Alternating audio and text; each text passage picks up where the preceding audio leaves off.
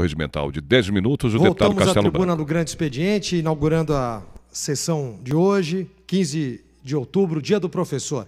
Dessa vez, para falar de um assunto apaixonante, de um assunto extremamente lúdico, que remete muito à nossa infância, que são as pipas. Pipas que são uma das atividades mais antigas já praticadas pela humanidade. Existem registros na China antiga, 4 mil anos antes de Cristo, de que já se utilizava como elemento de brincadeira ou como uma atividade profissional. Então vamos falar um pouco do que envolve a pipa, nos seus aspectos culturais, esportivos, em alguns problemas e, e apontando soluções. Então, eu gostaria que primeiro que vocês soubessem que nós protocolizamos hoje um projeto de lei que busca instituir a pipa como patrimônio cultural e material do Estado de São Paulo, por todo um arcabouço histórico, por todo um levantamento que nós fizemos com relação a isso.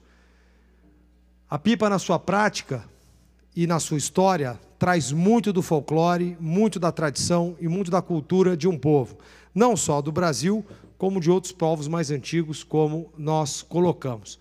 Estudos feitos nos últimos anos falam algo em torno de 30 mil lojas, 30 mil estabelecimentos comerciais somente no, na cidade de São Paulo, além de outras pessoas que vivem direta ou indiretamente relacionada a esse tipo de atividade. Sem contar o estado de São Paulo, cujos números ainda estão sendo levantados. E, claro, no Brasil como um todo.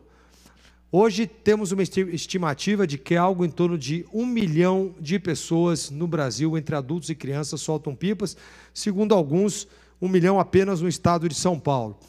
E essa prática tem sido feita de uma forma é, irregular, de uma forma não controlada e de uma forma aleatória. O que nós buscamos? Nós bu buscamos é, regulamentar o setor. Mas antes disso, vamos falar um pouco dos feitos brasileiros. Né? Somos tricampeões mundiais nessa prática. Está ali o nome dos atletas, os anos em que eles venceram. Uh, temos expoentes que participam de torneios internacionais. O Brasil já tem uma tradição em eventos dessa natureza, nas suas várias modalidades, nos seus vários tipos. Aqui são alguns exemplos de campeonatos e de práticas no Brasil e no exterior. Ela tem um viés educacional muito forte, porque agrega valor na formação das crianças como matéria multidisciplinar e interdisciplinar. Você aprende matemática, linguagem, história, geografia, física, química.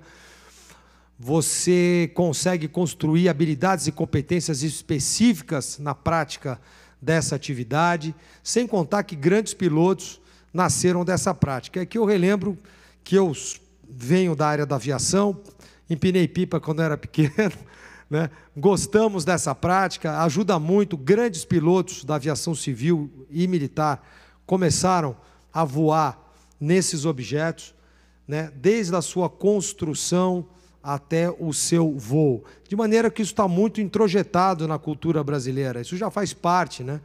Inclusive, eu lembro alguns livros famosos que estiveram, um deles, O Caçador de Pipas, né? que conta que a prática é muito comum no mundo inteiro. Eu gosto sempre de lembrar a figura do professor Henrique José de Souza, a esperança da colheita reside na semente, de que a pipa é sim uma boa semente de aprendizado, de união, de agregar valor na formação das crianças. Agora, como tudo que tem na vida, tem o lado bom e o lado ruim. Vamos falar do lado ruim daqui a pouco. Aliás, vamos falar agora. O lado ruim da pipa é que em algumas modalidades, eles usam a linha da pipa com alguns materiais que são altamente cortantes. E esses materiais cortantes já causaram grande dor, grande prejuízo, grandes traumas e grandes acidentes, voluntários ou involuntários. É justamente pelos aspectos culturais, educacionais e também pelos problemas que a pipa eventualmente possa dar que o setor precisa ser regulamentado. E nada melhor do que uma casa de leis, do que o poder legislativo estadual para decidir sobre isso. Já existem outros estados que saíram na frente do estado de São Paulo, estão regulamentando o setor, como por exemplo Minas Gerais, como por exemplo Rio de Janeiro, como por exemplo Paraná. que já delimitaram áreas nos municípios, que já, inclusive, construíram espaços próprios, que fizeram seus estatutos, seus regimentos, que regraram a prática.